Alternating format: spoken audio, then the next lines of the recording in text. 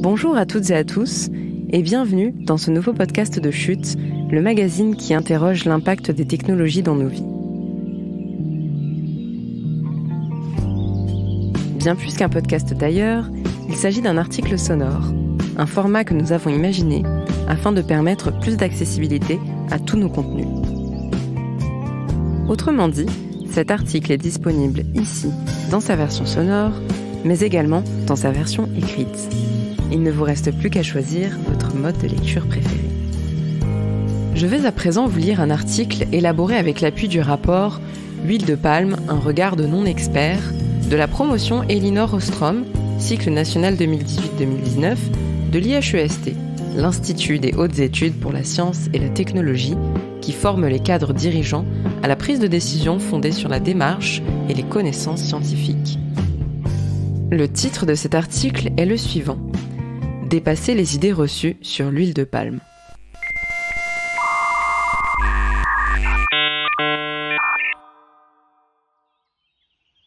Particulièrement stigmatisée en Occident, pour des préoccupations de protection de l'environnement et de santé publique, l'huile de palme et ses atouts sont finalement mal connus. En revanche, la complexité des enjeux soulevés par sa production exige une meilleure gouvernance de la filière.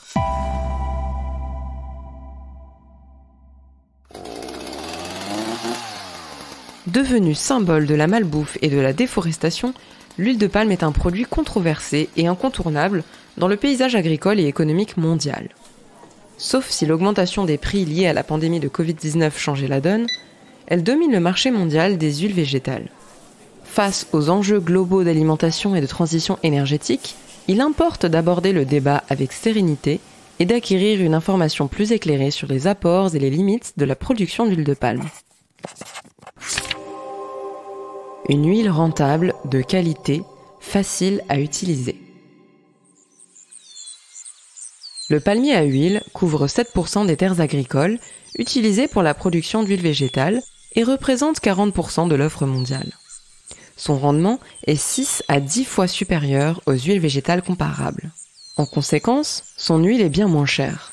20% de moins que son premier concurrent, l'huile de soja par exemple, et ce, malgré l'emploi massif de main-d'œuvre pour la récolte. L'huile de palme est une huile polyvalente, naturellement solide à température ambiante, qui n'a pas besoin d'être durcie artificiellement par hydrogénation, procédé utilisé pour toutes les autres huiles végétales et qui crée des acides gras trans nocifs pour la santé. Sa résistance à l'oxydation et au traitement thermique en fait un atout pour la conservation. C'est pourquoi elle est utilisée majoritairement par l'industrie alimentaire, pour plus des deux tiers de sa production.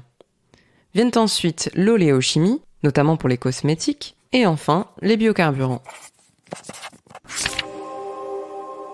Un atout pour le développement des pays producteurs. L'huile de palme est produite à 85% dans deux pays d'Asie du Sud-Est, la Malaisie et l'Indonésie, et constitue un élément majeur de leur développement économique. Ainsi, en Malaisie, l'industrie de l'huile de palme a contribué à hauteur de 4% du PIB du pays en 2017. Parce que le palmier à huile peut se cultiver sur des parcelles de taille variable, il a permis l'émergence d'une agriculture de petits exploitants qui ont vu ainsi leurs revenus augmenter et se stabiliser et une classe moyenne émerger. En Asie du Sud-Est, ce sont 40% de la production et au Bénin, 80% qui proviennent de petites exploitations. Côté consommateurs, les premiers sont l'Indonésie, l'Inde, l'Union européenne, la Chine et le Pakistan. En Asie, L'huile de palme est principalement utilisée comme huile de cuisson. La croissance démographique, l'urbanisation croissante et l'augmentation du niveau de vie dans le monde expliquent que la demande en huile végétale alimentaire et en particulier en huile de palme soit à la hausse. Un produit en accusation. Ces dernières années, l'huile de palme s'est retrouvée cependant au cœur de différentes polémiques, principalement en Europe. Elle est montrée du doigt depuis les années 1990 pour son mauvais impact sanitaire, désignée comme responsable de maladies cardiovasculaires. Elle se retrouve plus généralement au cœur des débats sur la malbouffe, l'alimentation industrielle trop riche en gras et en sucre. Aujourd'hui, le logo sans huile de palme, apposé sur les produits de consommation courante, est devenu un argument marketing. Autre reproche, son impact sur l'environnement. La culture du palmier à huile ayant conduit à la déforestation dans certaines régions, la filière de l'huile de palme est accusée de renforcer le changement climatique et d'éroder un peu plus la biodiversité des zones tropicales où pousse le palmier. Enfin, l'impact social de la filière est souvent dénoncé. L'extension des cultures, qui serait cause du déplacement forcé des populations autochtones, et les conditions de travail déplorables dans les grandes exploitations et plantations. Travail des enfants, exposition aux pesticides, travail forcé, etc. Dépasser les polémiques. La stratégie de l'électrochoc, choisie pour mobiliser l'opinion, rend rarement compte de l'inévitable complexité liée à l'analyse de tout sujet traitant de la question écologique. Concernant la déforestation, alors que certains articles pointent l'huile de palme comme responsable de 40% de la déforestation mondiale, les chercheurs ont montré que, sur la période 1990-2008, le chiffre réel s'élevait à moins de 1%. En Malaisie, le phénomène de déforestation s'inscrit dans une longue histoire, celle des plantations d'EVA et de l'exploitation des mines d'étain au XIXe siècle pendant la colonisation anglaise. Aujourd'hui, il marque le pas et la forêt couvre actuellement 56% de la surface du pays, bien plus que dans les pays européens. En Indonésie, une étude scientifique montre que, sous certaines conditions, la culture du palmier à huile sur des terres dégradées à proximité de forêts tropicales pourrait avoir un aspect bénéfique pour la biodiversité. Quant à la question sanitaire, à ce jour, aucune étude ne permet de conclure à un problème sanitaire particulier lié à l'huile de palme dans la limite d'une consommation non excessive, comme pour toutes les sources de lipides. En revanche, sa culture nécessite peu de pesticides. 400 grammes de pesticides par hectare et par an, contre 5,8 kg pour le soja par exemple. Une demande croissante. La demande alimentaire, qui représente 80% du marché aujourd'hui, est en croissance, en particulier dans les pays qui se sont développés ces dernières années. Cette croissance est corrélée à l'augmentation de la classe moyenne, de l'urbanisation et de l'enrichissement de la population.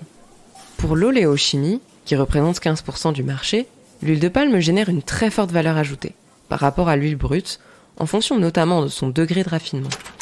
Évidemment, les pays qui en bénéficient sont les pays importateurs d'huile et non les pays producteurs.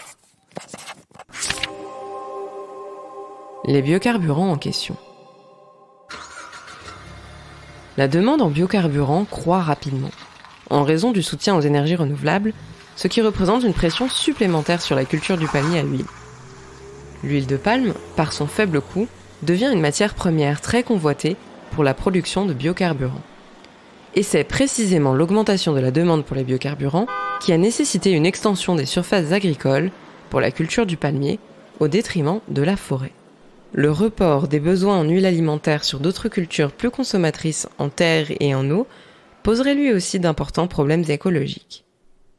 Autant de réalités qui font réfléchir à deux choses. D'abord, les biocarburants comme solution aux problèmes environnementaux. Si leur bilan carbone est faible, leurs effets indirects sur la biodiversité et les besoins alimentaires doivent être considérés.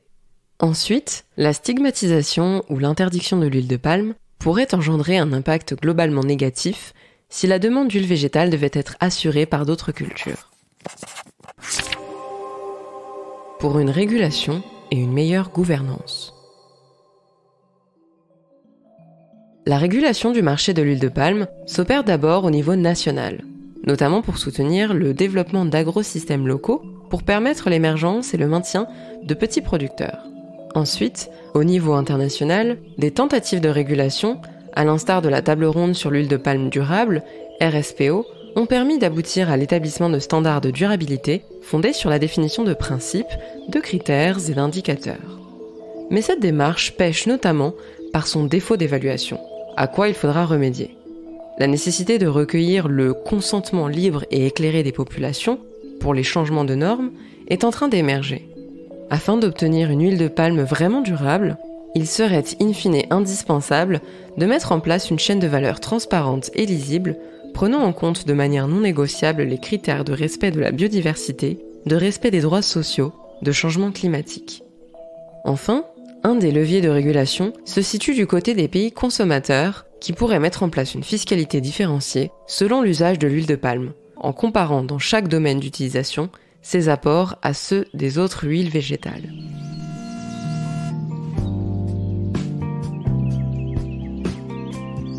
Et voilà, la lecture de cet article sonore est maintenant terminée. Vous en voulez d'autres? Ça tombe bien. D'autres articles de chute, réalisés avec l'appui de l'IHEST, l'Institut des hautes études pour la science et la technologie, sont disponibles au format audio. Nous proposons aussi des conférences et des conversations. Alors, si vous êtes friand ou friande de nouveaux frissons sonores, rendez-vous sur votre plateforme d'écoute de podcast préférée et trouvez-nous en tapant Chute Radio. Si vous souhaitez encourager notre format sonore, n'hésitez pas à nous laisser un avis 5 étoiles et à en parler autour de vous. Merci pour votre écoute et à bientôt.